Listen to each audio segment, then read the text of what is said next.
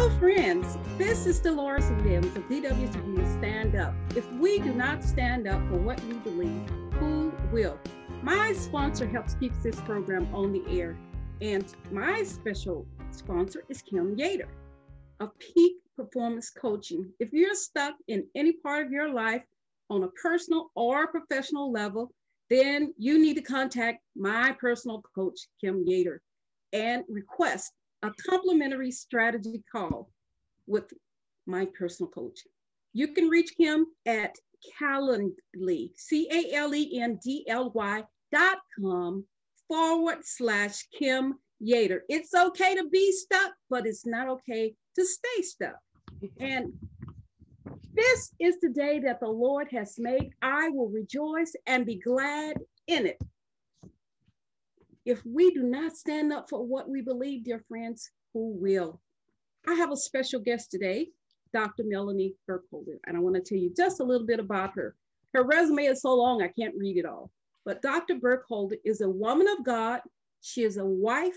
She is a mother of two sons, a dedicated community leader in Carlsbad, California. She was a former special agent in the Department of Homeland Security with the United States Secret Service for almost six years.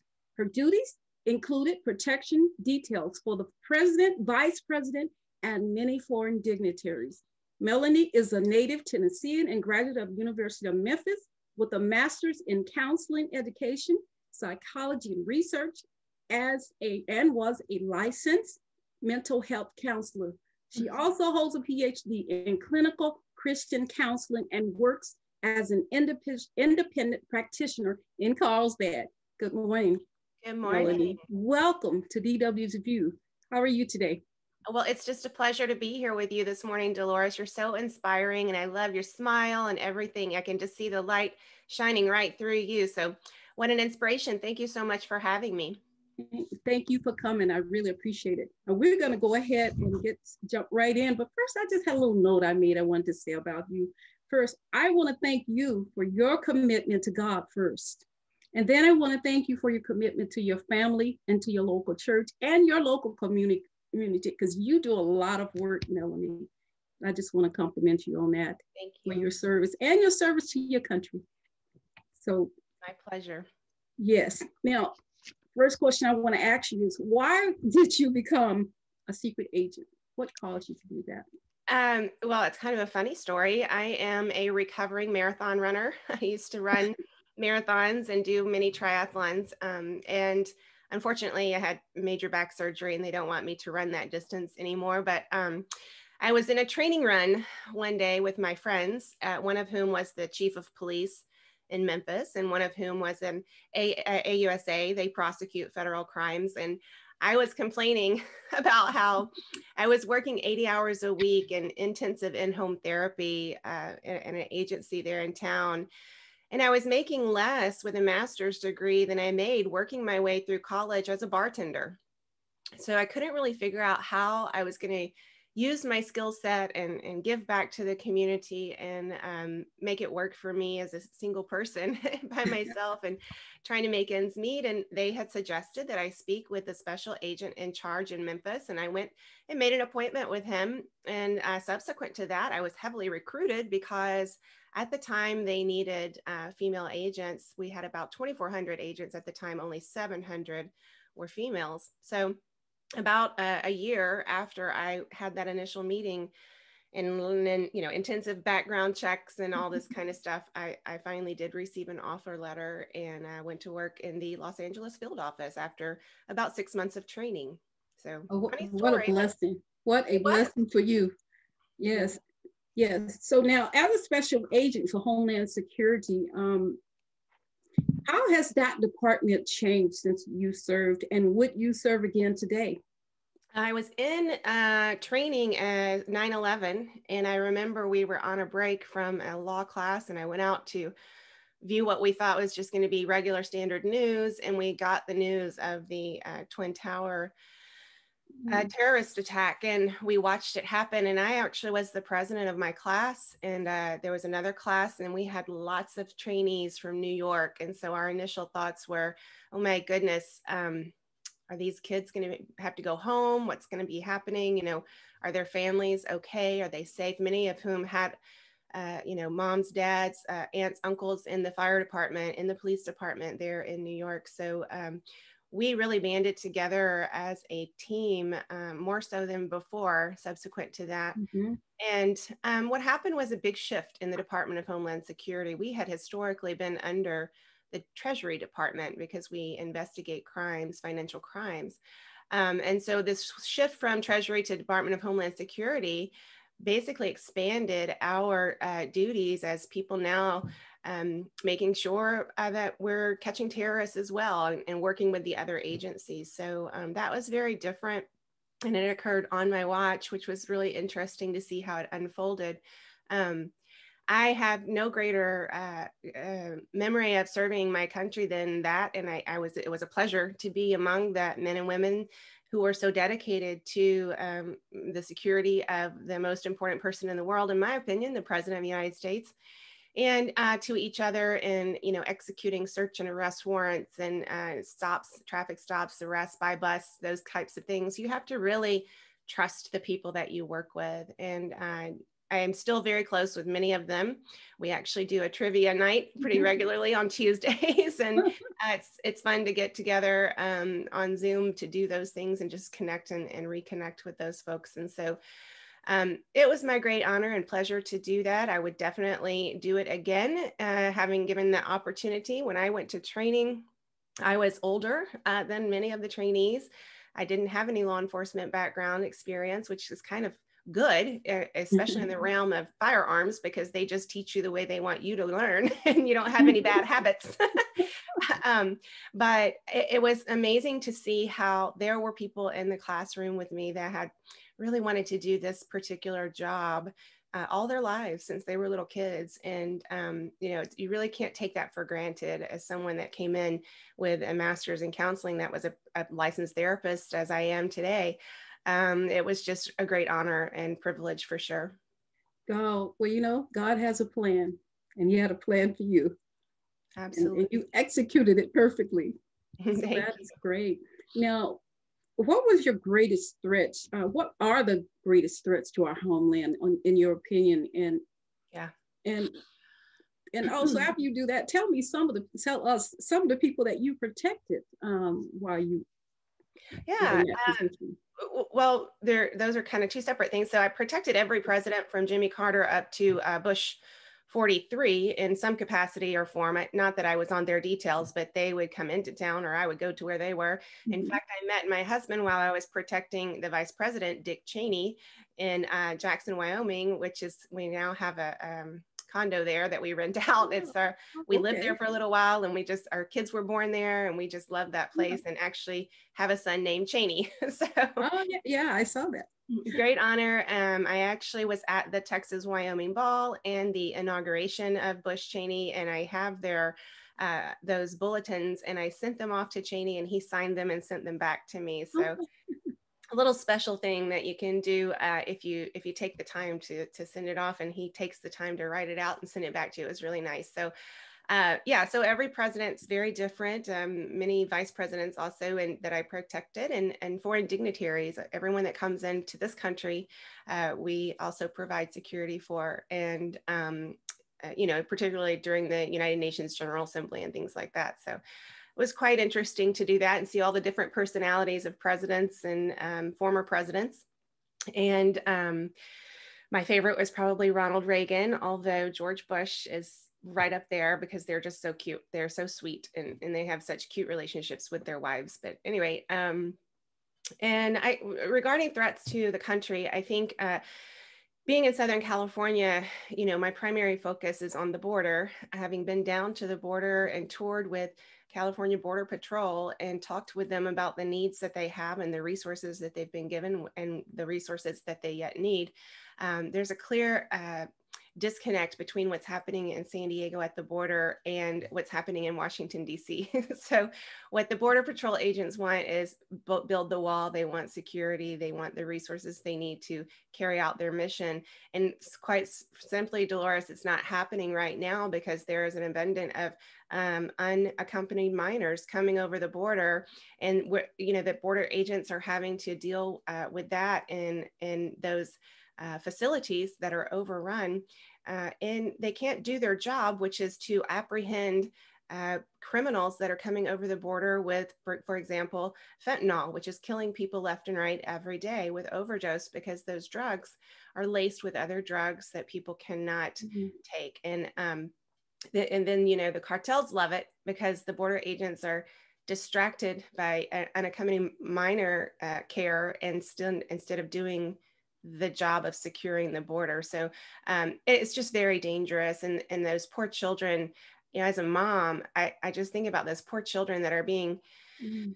sent over the border. I don't know if you saw recently, there was a video of two young girls dropped yes. from the, oh my goodness. I cried when I saw that. I just thought they, they don't even, they don't know what, what is happening, where they're going, what they're doing. And mm. I mean, mm. it's just, it's really heart wrenching and it's inhumane and it's not the way to solve anything uh, at the border. So that is primarily the, the concern that I have here in San Diego County. Obviously, worldwide at China.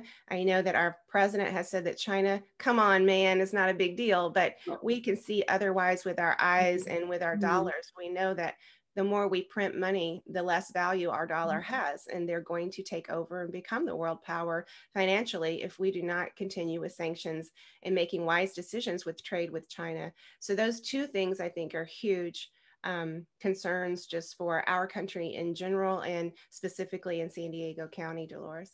Yeah, well, that that's great. And you know, I was just listening this morning that the cartels are making like $14 million every day because they're paid for every person that comes through that border.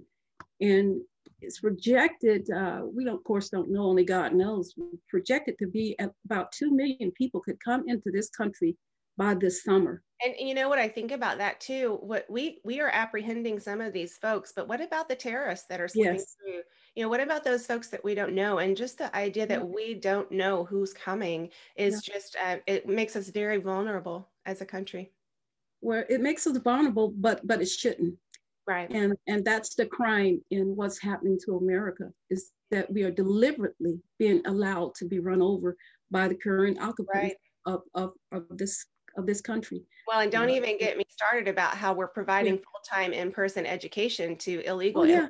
I know. And my children are still not full-time at school in a public school system, a government run school system. So you you there's nothing that makes sense with that. And then we have a vice president who's traveling off to Honduras and Guatemala and yet neglecting her own southern borders. It's oh, just yeah. it's reprehensible. Yeah, well, it's, it's, kind of a way to ignore the problem. Because if they created, they would have to accept responsibility. Well, yeah, exactly. And and and actually, I think it's working just the way they planned for it to work. Yeah. So they don't want to deal with it. Now, what is the importance of Christians voting biblically? We'll get back to jump back into some of the other things, but that is so important who we vote for. But when we say vote biblically, biblically, some people get offended by that. What yeah, do you mean vote biblically? I vote the way my parents voted. That's so true. So many people don't realize that. There's a whole ball of wax here. That's let's just unwind this a little bit. So um, there's about 60% of Americans, which you could even draw that down to Californians that are Christian. Um, about 50% of them vote. So if we had every Christian in America vote, we wouldn't be having the things that we have happen right now from 30 years of failed Democrat leadership in California because they vote their values. They value family, they value principle, they value morality. I mean, these are very basic things, but if you vote that way, and there's no bigger example, by the way, Dolores, of how this works than the November 2020 elections here in San Diego, in, in California. Uh, all of the propositions on the ballot were conservative values, conservative leaning propositions, and every one of them passed the way that conservatives vote. Uh, mm-hmm. Uh, so why didn't more conservatives get elected? Well, we're bad at messaging. The, the Republicans, like myself, yeah. are not really great at messaging. So yeah. we need to do a better job with understand with, with having those folks understand those voters that we value the same thing. We want lower taxes. We want freedom. We want Second Amendment rights. Yeah. We want to have affordable living conditions and housing here. And so, how do we convey that message that we aren't, you know, white KKK bigots that the media tries to portray us as? Uh, that's always been the challenge. It's a greater challenge now, and there's never a, need greater than to get our message out to say that we actually have more in common than we have different. Yeah, you know, we do. And, and Melanie, and one thing I talked about last week with uh, Kevin is the critical race theory, which is being used to, to completely divide this country and divide each American based on race. And that is big time. Every, when you look at TV, all you hear is critical race. Oh, you're racist, you're racist, you're racist. But, and you know, and some people innocently don't realize that all that's doing is planting seeds to divide and to conquer. Yeah. And divides us from each other, makes us hate each other based yeah. on race, and and it's shameful. It is, and I think um, because they can't win with messaging and with policy, they have to create this narrative that we don't like each other, um, that people don't like each other. I mean, it's just it's it does such a disservice to us as a, as American citizens and voters, and it's just I, I, I never will understand it. You know, I grew up in the South, and and I I get uh, real racism. I, I, get it, but uh, I don't. I don't live there anymore for a reason. You know, there's a there's yeah. a reason that I don't do that. But I just I, I my kids don't even understand. They they they just don't even understand. They're what is the deal with racism mom why why is it even an issue you know and it's like yeah they people drive the narrative of, of the day and that's how oh, they yeah. get uh, divisiveness and it doesn't help anybody at no, the end of the day. No, it, it doesn't. But the sad thing is, is that they're teaching it to the children. Yeah. From little children. Now, what you attribute the ungodly things happening across America today to God being kicked out, basically a country founded on the Bible, on the word of God, he's been kicked out the door in some yeah. areas. Yeah. And you know, you have to think about why, because if mm-hmm. we have no moral compass, if we have yeah. no foundation, then what do we have? It's just the same thing as you see at the border. It's crumbling. It will yes. crumble in itself. And, you know, and also lead into things that are very dangerous like Marxism and socialism and oh, yeah. you know, taking over uh, government run everything. I had a conversation not too long ago with someone that was talking about uh, the teachers wanting childcare vouchers for their children now. And I said, well, who's going to provide that childcare? Will it be a government run facility? Because if that's the case, you're taking away the choice uh, that we have as Americans of where to place our children, just like we have a choice about school. so, mm-hmm. excuse me. So, I mean, I think just overwhelmingly government intervention is, is not the way we want to go. But here in California, if you look at something like AB 276, where they require now vaccinations for your children to attend a public school, uh, my children have been vaccinated. I'm a pro vaxxer, but there are some children and examples that I know that cannot take the vaccines because they have had mm-hmm. adverse reactions mm-hmm. to it and these people don't have a place to educate their children. I know of one particular mom who's a single mom. Her child can't take the vaccines. She works full time. She has to now educate her child. Her husband will not let her leave the state to go somewhere else where she could get an mm-hmm. education for her child. So mm-hmm. she's in a, a, very difficult position to mm-hmm. try to be the sole provider and educator for her child. And it's as a result of an umbrella um, legislation that doesn't fit all folks. And they're doing it more and more here in the state of California. You know, the party that doesn't want you to have to provide identification to vote is yeah. the same party that is working through legislation AB 663, I believe it's called, in uh, Sacramento right now, that has all of our information for everyone that's ever signed a recall for anything. Oh, yeah. It will collect all of our information, personal information, how ironic is that? You don't want to provide voter ID, but when we want to recall a bad, uh, a bad politician, you want all of our information. So what do you think oh, they're yeah. going to do with that? They're going to weaponize that.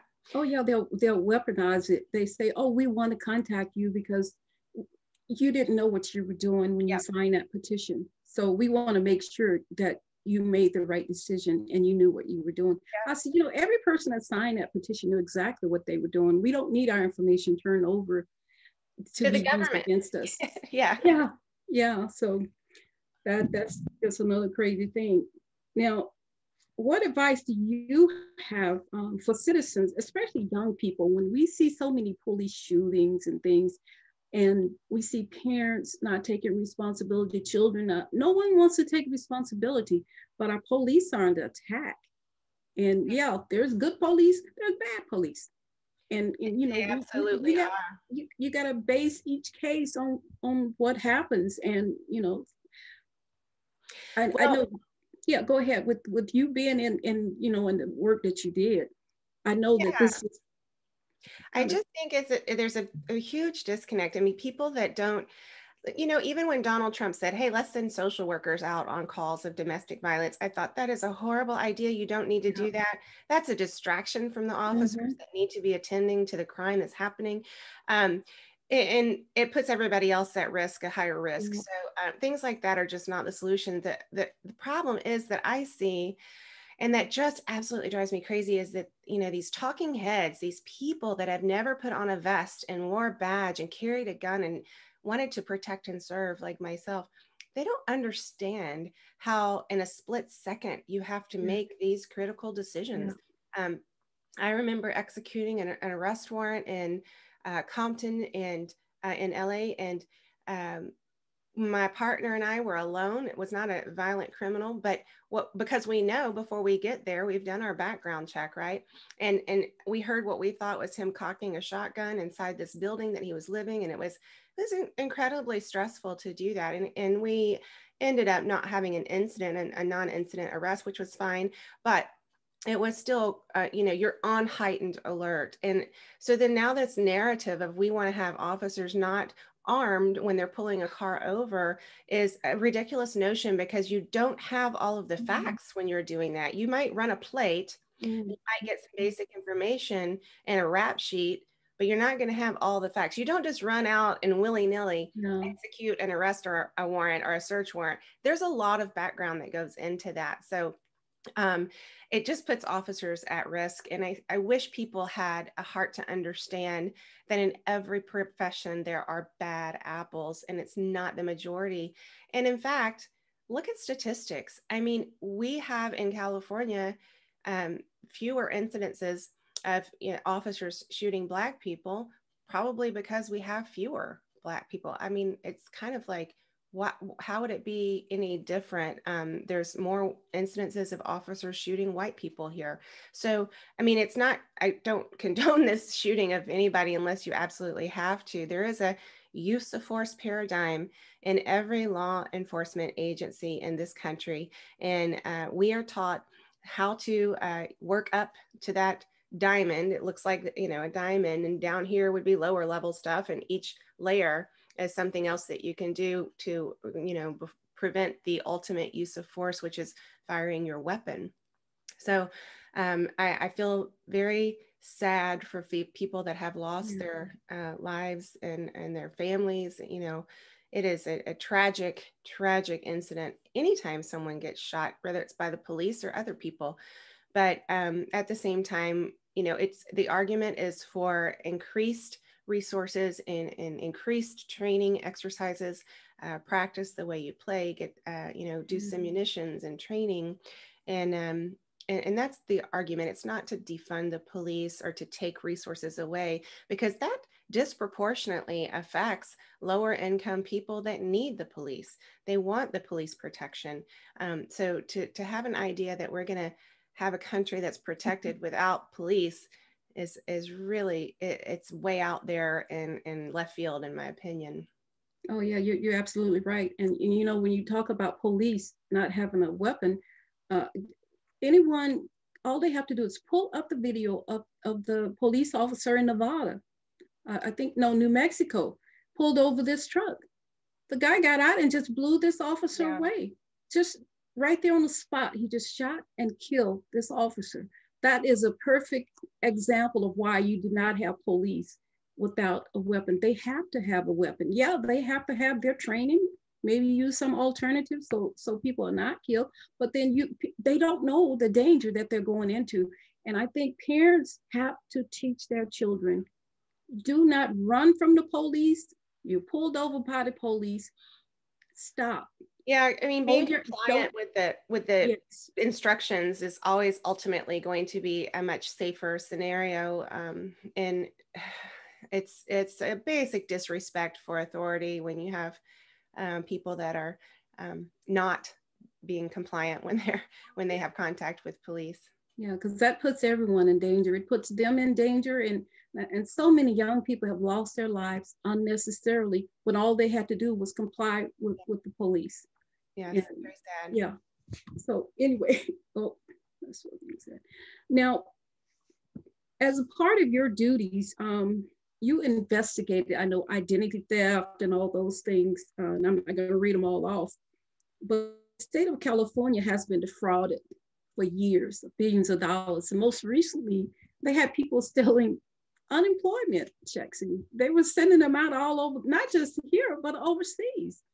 Uh, how could something like that happen and how can how can that i know it's happened a long time but how, how can that be prevented this theft and i mean I looked at that, so billions of dollars that this state doesn't have was stolen, basically. Yeah. Well, um, no oversight in government lends itself to uh, mistakes, and in this case, millions of dollars of mistakes. And I think that's just part of when you get too much government involved in people's lives, mm-hmm. then they don't have the oversight that they need and that uh, protects our tax dollars and protects um, the, the everything, all of us. I mean, all of our financial institutions. Um, investigating financial crimes is uh, basically uh, it could be as simple as you know George Floyd passed a twenty dollar counterfeit note, and it was um, you know known to the shopkeeper that this was counterfeit, and the cops were called, and that's protocol. That's anytime someone encounters a, a, counterfeit note, local PD should be called. And then uh, if it meets the threshold, it gets sent up to the federal agents like myself. And then we investigate the crime. Um, unfortunately, it didn't go that way with George Floyd. And um, we know that was the uh, catalyst, though, it was the counterfeit currency. So uh, we investigate all of that into wire transfers, into credit card fraud. Um, a lot of everything that has to do with with money, uh, you know, and it's it's a really fun thing to do actually because you can get these notes passed and then you can trace them and there's always going to be a mm-hmm. very very very slight imperfection on uh, counterfeit notes because now you know the, the dollar is made so um, uniquely that people cannot replicate it and they can't mm-hmm. possibly get everything right and so when you find that one tiny little imperfection you, are like, oh, got it. Here it is. This is this note. And it goes mm-hmm. into a classification. I mean, you could call it ABC, whatever. So this is an mm-hmm. A note. And then it gets linked back up to what we call a super note, which is, um, you know, a really, really good counterfeit note. And, um, and then you can find a, find who is producing it. So that's kind of what you do. You just dig, dig, dig, dig, dig, and follow the money until you can finally realize who is doing uh, the counterfeiting themselves. So uh, it's it's a fun an exciting thing to investigate, I think, but maybe most people don't think that way. now the now the Nigerians are very good at that. I, how do they get into stealing money from Americans? There's so many. There's so many. They get a printing press and they start their business. And I mean, it's it's fascinating to even think of how do they get started because they have too much time on their hands. they should be working someplace, not sitting yeah. around thinking about how to defraud the government of uh, uh, thousands and millions of dollars. But you know, every every arrest and investigation they did, it's just simply because they've got too much time. You need to be working. Like go to work. Yeah. I'm trying to figure this out and do something legitimate. You know. Yeah. Uh, but it's true and there's every nationality i mean i swear there's like every nationality has an attempt to um, uh, do identity theft or, or defraud the government or counterfeit or whatever it is, bank fraud. Uh, you know, you have people receiving checks that are deceased and they're still getting cash and mm. we investigated all of that too. So it's different now, I would say, with um, so much technology that people use. So it's a little different, but it was fun back in the day. Well, thanks for going into that because most people don't know that. and that's why I wanted you to kind of cover it. But uh, now, with your degrees in various levels of counseling and holding your PhD in, in clinical Christian counseling, um, are you using your counseling skills today with all the shutdowns and lockdowns? Uh, you're receiving a lot more work in that field. I'm telling you, it's really sad to see what is happening with people's mental health uh, these days as a result of this lockdown. I actually would never have said this, you know, 20 years ago when I was working, but I'm doing a lot of online uh, telehealth now and uh, across the country because all of the restrictions have been lifted so that people can get the care that they need um, online. And, you know, sadly, here uh, in North County, we just had our third or fourth suicide of um, mm-hmm. teenage kids. Um, they just can't, you know, we're not meant to be in isolation. We're not meant to be uh, alone. And in law enforcement and solitary confinement, that is not a reward, that is a punishment. Mm-hmm. And it feels like that after this time alone that we haven't been able to play sports. We haven't been able to go to church. I mean, the government has told us that we can't go out to eat, but we can go to Costco and you can go to a strip club.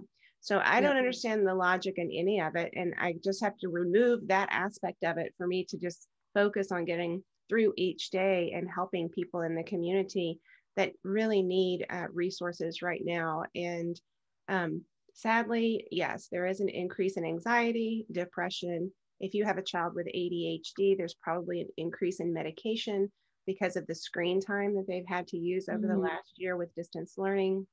There's a, and we've seen an increase in abuse, neglect, domestic violence, food insecurity, mm-hmm. uh, and you and you think about the uh, teachers who are mandated reporters like myself who haven't had eyes on the students in so long they don't mm-hmm. know what's going on and um, you know it, anxiety is off the charts you know um, we're trying to all just encourage people to take deep breaths to complete a routine i mean it's so important when you think about having your right life disrupted to this extent that you try to maintain some type of routine at home or wherever you are having to you know conduct your life right now. It's just um, it's it's hard to think about and, and can be overwhelming. So um, yeah, the answer to your question is yes, I am seeing a lot of and a lot of suicide ideation and suicide attempts as well. Drug use, obesity, because people are sitting at home not doing their exercises as normal, or gyms have been closed.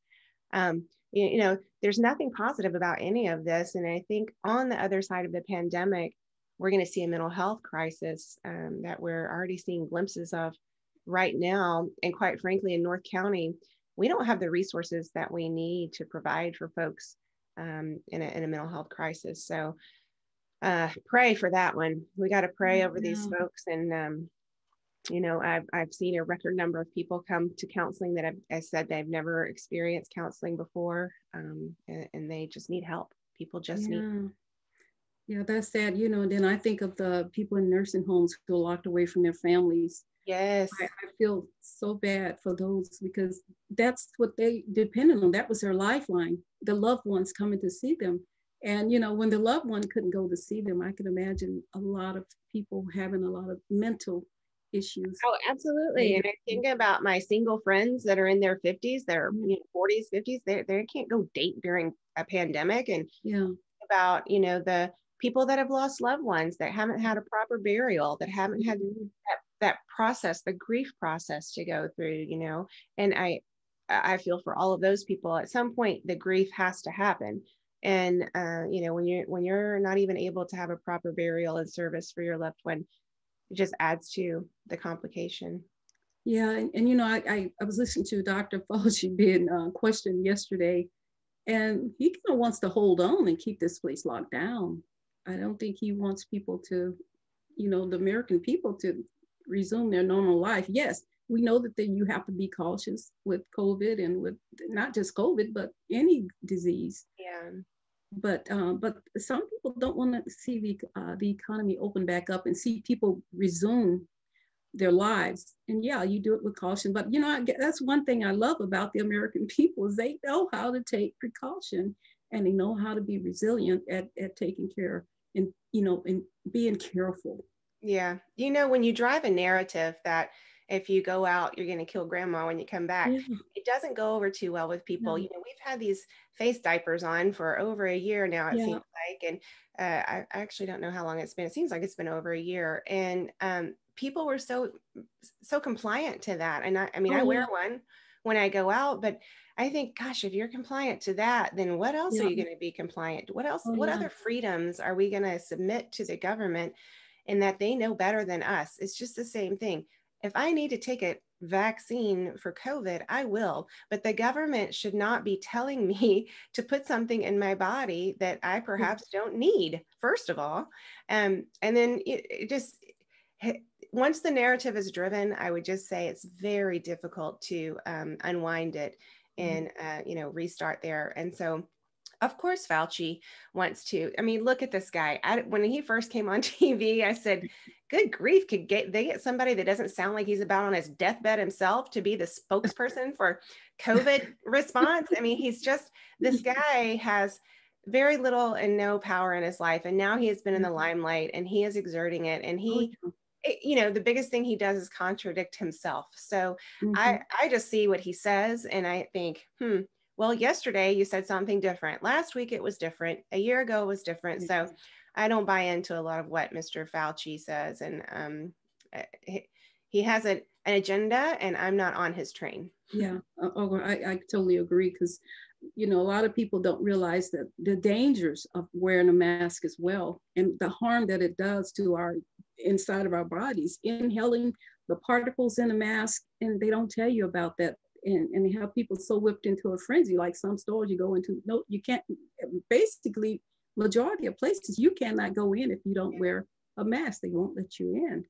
And but but they are damaging people with those masks, and that's another danger that's not talked about, and another I think another upcoming health crisis with people inhaling what's in yeah. those masks. Yeah, I mean, and even just mental health issues with not being yeah. able to interpret one's face. Infants um, early on look at to their parents and, and facial expressions to interpret the world.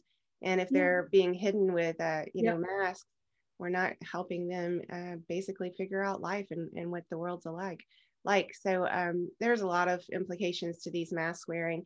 And i think it's because you know we're not in a, a country uh, like perhaps bangladesh or india where face coverings are normal. Um, we, we don't cover our faces here in this country. Mm-hmm. so uh, there's going to be so many implications that um, mm-hmm. that we don't see right now uh, that will come up later i believe yeah, yeah.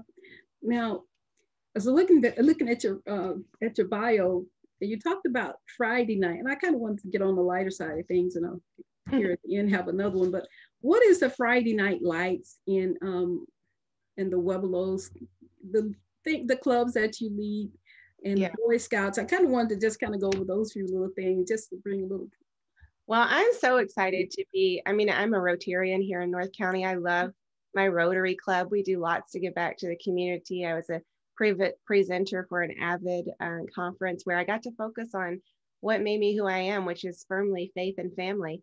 And so mm-hmm. when you mm-hmm. started this show off this morning with faith and family, I thought, well, Dolores knows me inside and out already. that was my whole spiel to yeah. the that I got to present to was that, you know, you can't do it alone. And uh, whether you have um, uh, religious values or not, you got to have some sort of moral guideline. You got to have some sort of moral compass and, uh, you know, how you live your life. And so faith and family for me are really important. And Friday Night Lights is another uh, nonprofit that I get to be part of. And my children, they're football players, and I only have two boys. So I uh, don't have any little girls. So I'm actually the cheerleading coordinator for the um, for the Friday Night Lights cheerleaders, and it gives me that little girl fix. I get to see yeah. them first week scared to say mm-hmm. my name, and by the end of it, they're performing by themselves in the spotlight, and they're just wonderful. And I get to encourage them in teamwork and in uh, self-esteem and determination and confidence and all the things mm-hmm. that young girls need and young men too but young girls as well and so it's quite my honor to be able to be part of the friday night lights um, organization. It's like a big family to me. And then um, Boy Scouts is, yeah, my husband, I used to be leaders when they were in Cub Scouts, but now they're big enough to be in Boy Scouts. So they have a, an Eagle Scout who is their leader now. And we just sort of exist in the background. It's really weird to think about, but we do encourage them in their scouting adventures. I love it. It's a, a wonderful, um, a wonderful program. And uh, you know, they're also doing their confirmation classes at, at church right now, which is exciting to see them go through learning everything uh, that they need to learn about the Bible, which uh, both of them have read their action Bibles, but it's fun to see them develop deeper into their faith during the last years. So um, we have a we have a very blessed life. My husband is um, just a, an amazing man and, and such a wonderful father and husband, and um, we just we're very blessed to be able to be here in, in North County and give back. Um, one thing I did want to mention, Dolores, were you going to be talking about the non-toxic Carlsbad stuff? Oh yeah, yeah. Good. Go ahead and tell us about that. Oh, I just love this whole thing. Um, we a few years back, actually in 2017, uh, parents uh, were alerted that the field was going to be sprayed with uh, you know pesticides before our field day where the kids were mm-hmm. literally out on the field all day long and so um, we we decided that was not okay i made a quick phone call to the mayor of carlsbad and said this is happening and you don't want this in the press so let's figure it out and so mm-hmm. uh, we ended up not having the field sprayed that day but then we got to, um, together democrats republicans parents uh, and and said wait a minute why are we doing this why are we using roundup in the city of Carlsbad, there are many, many alternatives. And actually, we modeled our non toxic Carlsbad um, project after Irvine. The city of Irvine had already done it, mm-hmm. and um, we we talked with them, we collaborated with them, we worked with the city of Carlsbad Parks and Recreations, we worked with the school district here in Carlsbad, and we asked that they not spray Roundup at the fields uh, and parks where kids play and dogs play, and uh, you know, and that's basically all we asked for. And at the end of the day, we were so excited that the council voted 5-0 to not spray it in the entire city of Carlsbad. Mm. So we're using alternatives here and it seems to have been working out so far. We don't have any issues, but um, it was just the idea that you know you can collaborate and work together to the greater good and and create something positive in your community so yeah that was in december of 17 so we have been pest uh, Roundup free here since then. And, you know, if I'm elected to the assembly, I would love to work with other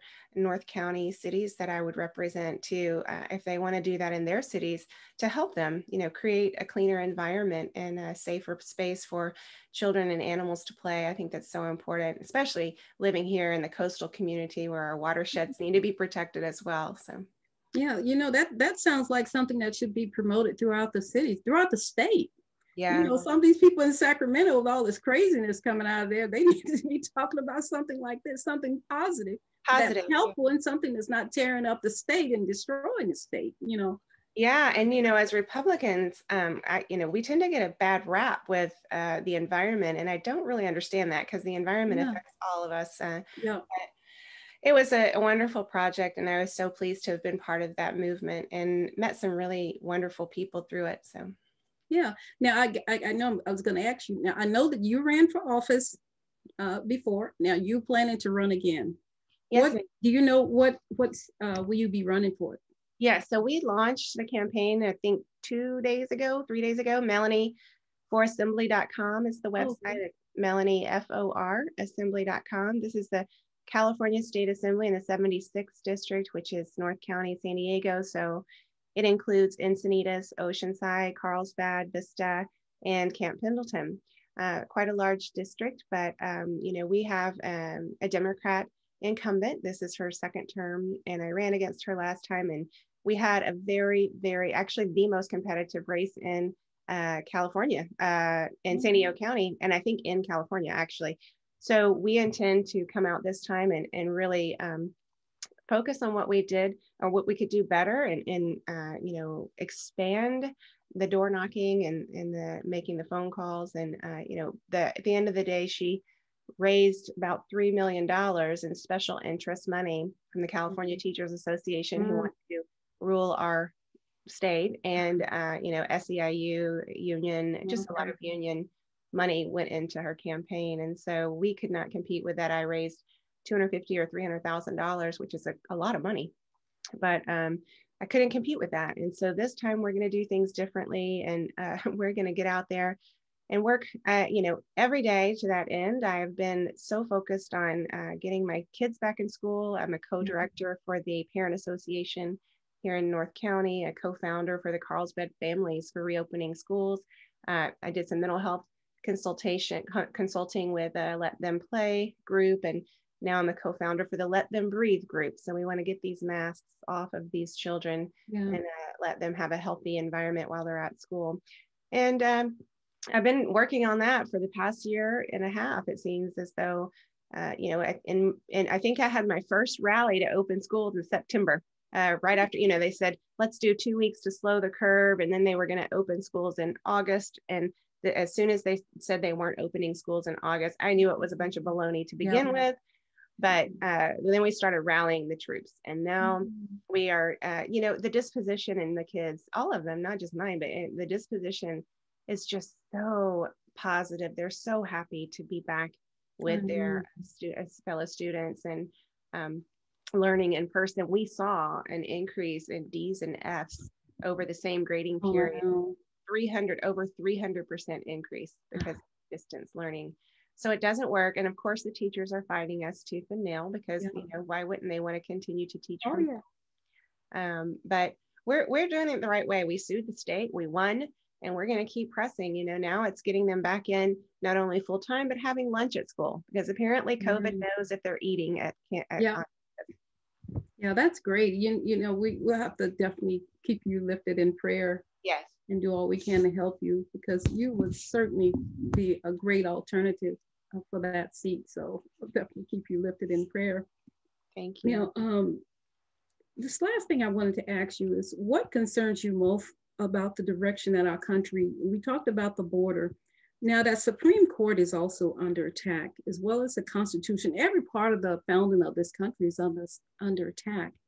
I'm very concerned about this push to take over the Supreme Court and HR one. We can, I know we can't cover all of that, but HR one, people need to know how dangerous that is to our elections. I mean, with no accountability, complete and total power over our elections where we have no nothing to say, but we just do what we're told. HR five would destroy is sexualization and would destroy uh, Christian Christianity. What Christians stand for, that's will come back and be under massive attack in the and with the gun control and all the stuff, you know. And, and, and I just want to say this, uh, Melanie. We talk about guns. President talks about uh, gun control. But you know, one thing they never talk about is God. They never talk about putting God back into America. They never talk about faith and what it takes for people to live a, a, normal life, a godly life, which, you know, when we put the Bible in schools, when we put the Bible in places where it needs to be, crime goes down when mm-hmm. people hear the word of God and when they know the word of God and when they're taught the word of God. So just, you know, I think, um, Dolores, there's an inherent feeling of altruism if you have God in your life. There is a, there's just uh, you want to do good and you want to help other people, and you know it's not because you feel guilty if you don't. It's because you genuinely want to be the light of the world. You want to be the light that God asks us to be and shine on to others. And and when you take that away, you take away a level of accountability for people um, accountability to each other. And uh, I, I, think that is the beginning of the crumbling of a democ- democracy. Um, because if if you're just telling, if the government is just telling us how we have to conduct our elections, how we have to refer to people and call them and what names we can call them and how we have to identify people and categorize everyone you know you're taking away the uniqueness that god made us each of us individually just our certain way. We're not one of us are alike. And, and I think that is just so important for people to um, embrace and appreciate instead of try to put everybody in a category where they mm-hmm. fit because it's coming to the point of then at birth are we going to be assigned a future career well you look like a um, you know widget maker. So you're going to be a widget maker. You know, is that what the government is going to end up doing? And, mm-hmm. you know, if you read books like Brave New World and 1984 and some of these yeah. classics, you really think um, we're not far from genetic no. engineering and we're not far from the government telling us yeah every aspect of our life. So that's what happens when you take God away. You take away our individuality, you take away our spirituality, our altruism, our accountability to, to each other, and our love. And, and that is just not a society I want to live in. And I don't think most people do either. No, they don't. Take the mask off the kids. Take mm-hmm. those masks off the little children. I see little two year olds, one year old. They got a mask on a baby. I said, What? Get those masks off the off of these children. You're yeah. harming them. Leave them alone. Let them be kids. Exactly. You know, stop indoctrinating these babies into sex and trafficking. And and you know, I, I know we're going to end soon, but I'm concerned about you know all the children, Melanie, that are coming in, into this country by the thousands, thousands, thousands. They're hiding them out in these different bunkers and in little caves and whatever they're putting them in. They don't want anyone to know what's happening in there with these children. Some of them, these children are being abused, they're being raped, little girls. And, and that one little boy also was sad that was in the desert. They found him by himself in the desert. And it was so sad. It just, you know, just breaks your heart what's happening. But, you know, God is in control. And uh, that's where we find our solace and where we find our comfort and peace and knowing that he's in control and he's watching everything. You know melanie? Yeah. This is what people that have no faith in god don't realize. Every single thing we do is recorded. He's watching it all. And he'll judge it all one day you know? Uh, amen. Yeah, so, amen. Yeah so go ahead and have your final words to us melanie. Share with us and let us know how people can contact you if you want them to contact you and I'm going to actually say a prayer at the end after I do my closing. Yeah. So well, it's been just a pleasure to be here having this conversation with you. Some tough questions, some fun questions, and some yeah. knowledgeable uh, questions. And I really appreciate that. I um, I'm so excited to be running for the state assembly to try to give um, back to the community, you know, some of their power, some freedom, some um, uh, level of accountability to politicians in Sacramento who have really just taken the power away from the people. We, we when you think about things like AB5, where you can't even you know you have to unionize all the labor in this state to, to work. You can't work where you want to work for whom you want to work and when you want to work because some politicians want unions over individuality and individual choice. Um, I, I, would fight that tooth and nail. Like that's not something where I want people to have to do things. You can't be an independent contractor anymore. Why not? You know, come on. So um, taking that fight to Sacramento is is going to be my pleasure. I would do the same, take the same fight to Sacramento that I took to the bad guys on the streets of LA when I was a Secret Service agent, and I know how to compromise and, and talk with both sides of the aisle. It's a it's an important uh, I'm a therapist. That's what I do is is listen and talk to people. So um, usually when you're sitting in front of me, it's not because you're having a real good day. So we're uh, we're able to to make ends meet there and um, do what's the greater good for this for this uh, district in North County and recognize that what's right for here is not always right for you know Chula Vista or you know that that district the 79th it's not always the same in each district so Mm-hmm. I would mm. protect the rights of people in North County, uh, and and that means property values, property rights, and uh, you know they just passed in San Diego. Todd Gloria just passed this ridiculous vacation rental um, where the folks that have property can only rent their house out. I think it's for 30 days of a calendar year or something like that. It's like one percent. So it's really detrimental to the economy. The transient occupancy tax here in North County is as considerable for our economy. Now, number one in, in, in San Diego County is San Diego, the city of San Diego. Number two is Carlsbad. So the TOT is very important uh, to us up here. And that goes back to protecting property rights uh, yeah. of people. And, you know, biggest things are getting schools open and getting businesses open yeah. and I'm going to continue that message and, and protect and, and, help our veterans. I don't know if you know, but every month I go out to the Veterans Association here in North County oh. with some folks and pass out food uh, to veterans. It's, it's like mm. the, my favorite day of the month. Yeah. And um, if you want to join me doing that, I would encourage it. It's the first Friday of every month. Uh, we go out and pass out food. Oh, what time do you go? I usually go at one o'clock. Oh, okay. I'll, I'll, keep that in mind. You have to let me know details. Yeah. And if you want to uh, email me, Melanie forassembly.com and um, that would be that's my website. You can email me through there and um, let me know if you'd like to get on board and help this campaign. We are always going to love our volunteers and uh, get them to work. You make phone calls or knock on doors or whatever you want to do. Certainly donate. That's always a help. You know five dollars goes a long way in a campaign.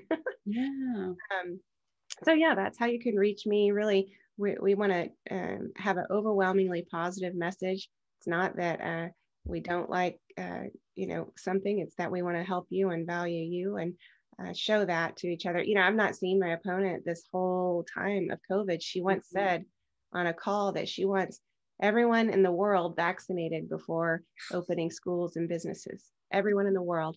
So oh, very different perspective uh, mm. than and uh, taken away i mean can you imagine how long it would take to get everyone vaccinated. Uh, well, well, it's, it's, I mean, it's a personal choice, and and no one should be saying that. And I, and and see, this is how people get indoctrinated into falling for the lie that everyone has to be vaccinated. I talked to an aunt in Texas, my aunt Fern, I'll call her.